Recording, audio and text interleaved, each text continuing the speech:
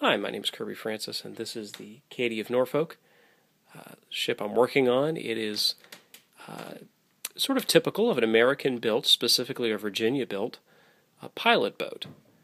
Would have been late 18th century or early 19th century.